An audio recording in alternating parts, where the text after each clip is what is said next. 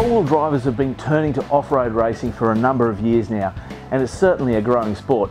There's Aust 4, there's Ultra 4, there's also things like Tough Truck and the Outback Challenge and a whole heap of other great events. Michael Hayes, who's the owner of Superior Engineering, he's been into racing himself and so here at Superior Engineering they've got a whole range of great race proven products. We've got over here the rugged radios, helmet. Now this is fitted forced air, it's got an intercom system installed into the helmets ready to go. We've got five point racing harnesses. We've got the Profender shock absorber system.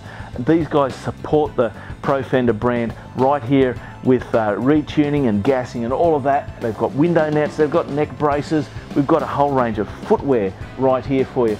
Your racing suits, all fireproof and rated. They also sell and support the rugged radios. Now these are great for back to base communications, intercoms between driver and navvy. We've got your mirrors, we've got the G-Force brand of helmets as well. We've also got your trail gear brands and they can supply anything out of their range. So right there's some limiting straps.